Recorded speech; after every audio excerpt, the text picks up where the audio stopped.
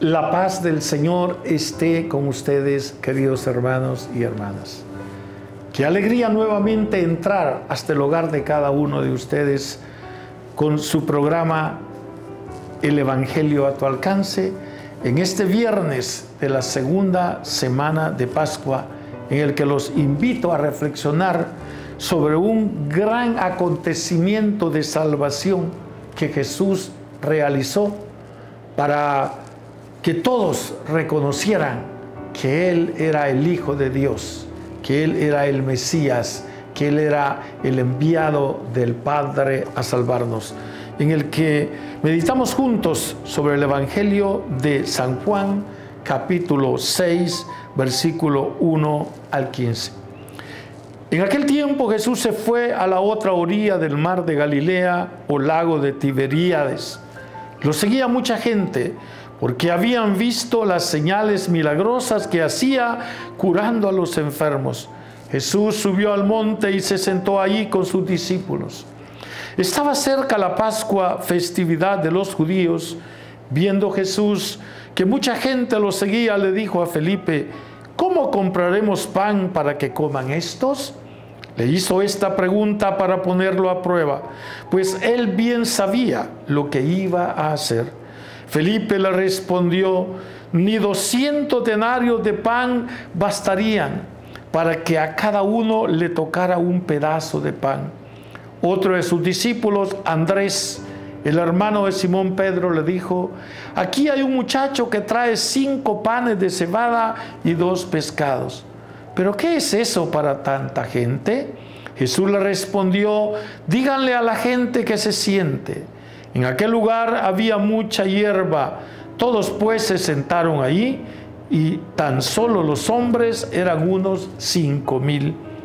Enseguida tomó Jesús los panes y después de dar gracias a Dios, se los fue repartiendo a los que se habían sentado a comer. Igualmente les fue dando de los pescados todo lo que quisieron. Después de que todos se saciaron, dijo a sus discípulos, recojan los pedazos sobrantes para que no se desperdicien. Lo recogieron y con los pedazos que sobraron de los cinco panes llenaron doce canastos. Entonces la gente, al ver la señal milagrosa que Jesús había hecho, decía, este es en verdad el profeta que habría de venir al mundo. Pero Jesús, sabiendo que iban a llevárselo para proclamarlo rey, se retiró de nuevo a la montaña él solo. Palabra del Señor, gloria a ti, Señor Jesús. A lo largo de toda la historia, el hombre siempre se ha preocupado más por las cosas materiales que por las cosas divinas. Vemos aquí que la gente lo seguía, dice la palabra, por las señales milagrosas que hacía. Qué pobreza de fe, hermanos y hermanas. Cuando alguien anda buscando milagros por un lado, por otro y por otro y por otro, es porque tiene una fe muy frágil. Es porque tiene una fe como las olas del mar, que van y vienen, van y vienen el Señor nos invita a que nosotros tengamos una fe firme, a que no busquemos el milagro del Señor, sino que busquemos al Señor de los milagros. A Él tenemos que seguirle. No tenemos que quedarnos buscando signos prodigiosos como hacía toda esta multitud que le iban siguiendo por todos lados, pero no tanto porque le reconocían como el Mesías, le reconocían como el enviado de Dios a construir su reino, a instaurar la paz, el amor, la justicia, el respeto, el perdón, la unidad entre todos los pueblos, sino porque veían los prodigios que hacía. Y Jesús manifiesta nuevamente su amor, su compasión y su misericordia. Se compadece de esa multitud que estaban ahí como ovejas sin pastor. Lo reúne y comienza a enseñarles sobre la grandeza del reino de Dios. Y cuando llega el momento en el que ellos necesitaban saciar esa hambre física, Jesús hace este prodigio. Convierte esos cinco panes y también multiplica esos peces. Multiplicando los panes y los peces, Jesús hace ya una prefiguración de la Eucaristía. Y nos va a invitar más adelante a que no busquemos ese pan, ese pan que solo sacia nuestra hambre física, sino que busquemos el pan que da la vida eterna. Por eso él más adelante va a decir, yo soy el pan vivo bajado del cielo.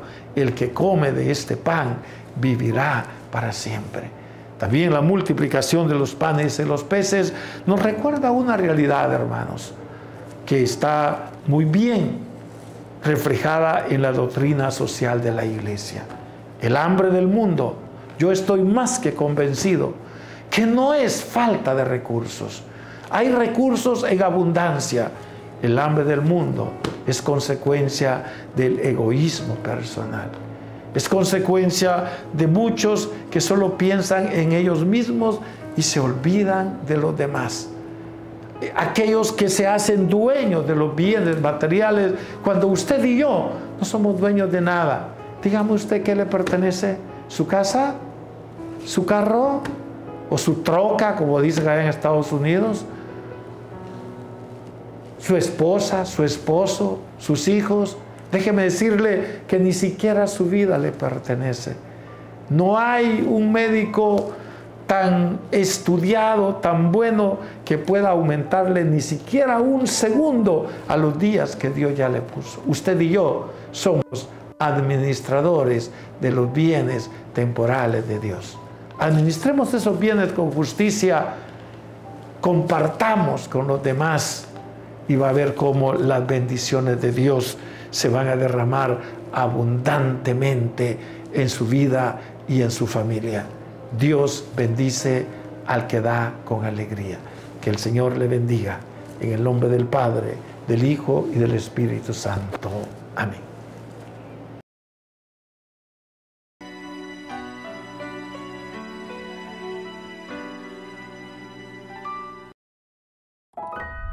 Católicos NTV Producciones.